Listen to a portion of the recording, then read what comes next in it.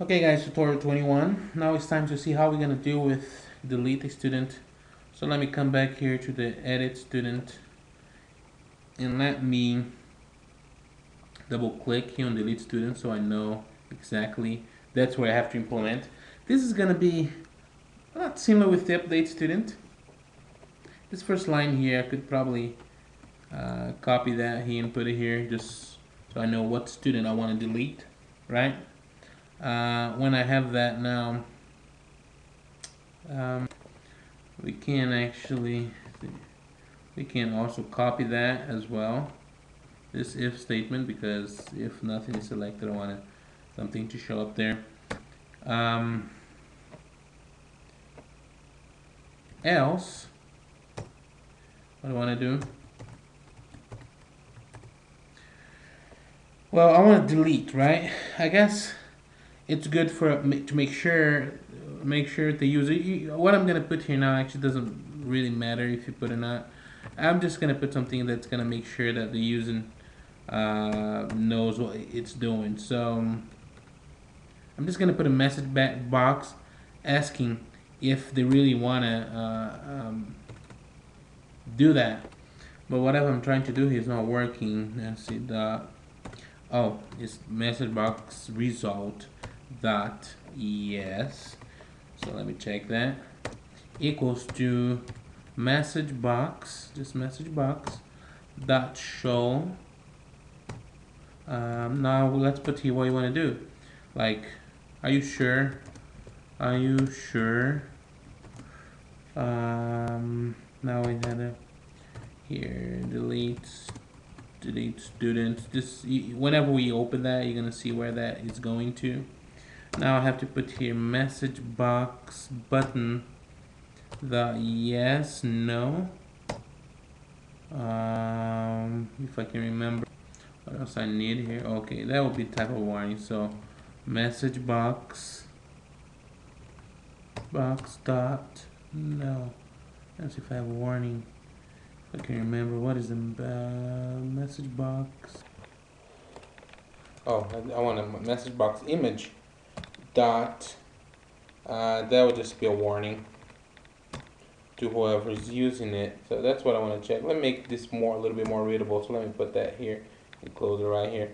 So, so if that returns true, what I want to do is just, of course, delete whatever it is. So I'm just going to do here admin.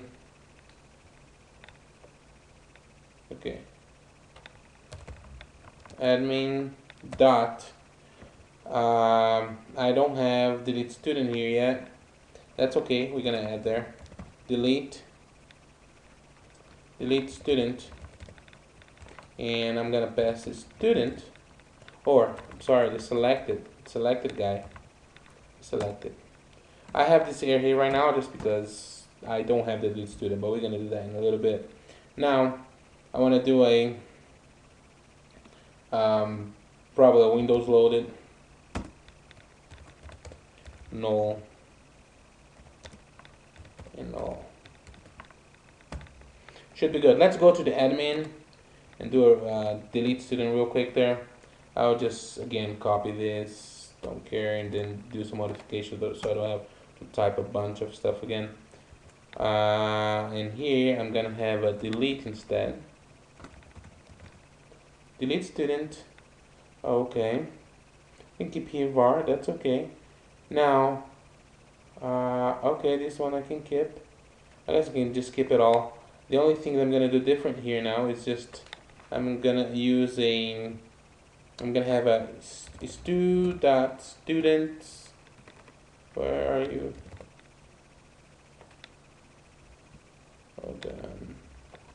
I'm supposed to have this showing the students, but it's not let me see. Well let me actually take this out. In this case for delete you won't really need first to default. Uh, let me see if that's gonna help somehow. Nope. Let me see here. And of course it's not gonna work because I'm using the variable. The variable is what I want to delete. So I want to actually use the connection con dot, let's see if that's gonna, okay, there you go. Dot students dot delete. Um, let me try this guy here. Delete on submit.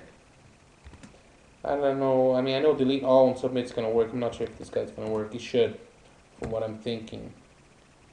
But he's complaining that he's complaining because he is a var. Let me just try to uh, just do some troubleshooting here. Just make sure. I'm pretty sure that should work. Okay, it does. If the thing is, if I put a student here, I think I will have to put first or default. Here, let me try that. First or default. Yeah, I think that would do it. You could also just put a var here and not put anything in here. Um, but then you'd have to put delete all on submit here. Okay, I think that other way would help. Let's try and see actually. So let me run that. Of course I have an error.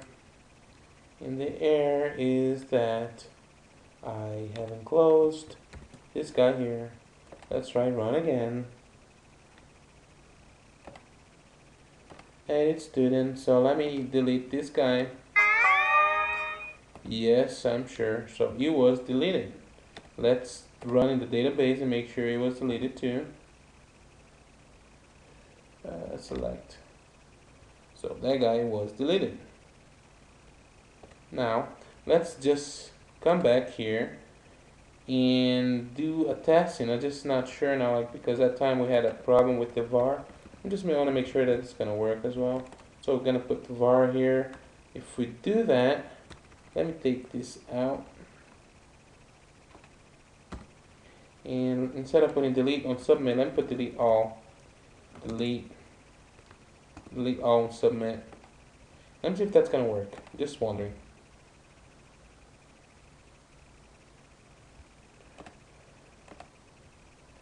So let me select this person and delete. Yes, and I guess it did.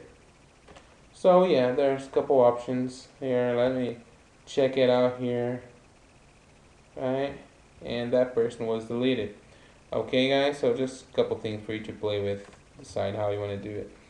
All right, guys. That one wasn't too hard. Uh, next time we're gonna do what we're supposed to do next time. Let's take a look again.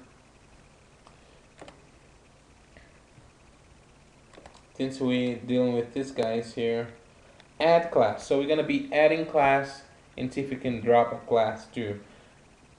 But to do that, make sure you have the class. You, you gotta have classes in here. Like in the view, I only have one class. I'm gonna make sure I add a couple more classes so we can actually just add those classes. But yeah, you gotta make sure you have this working, otherwise it won't work for you. Okay? Alright guys, thanks. See you later.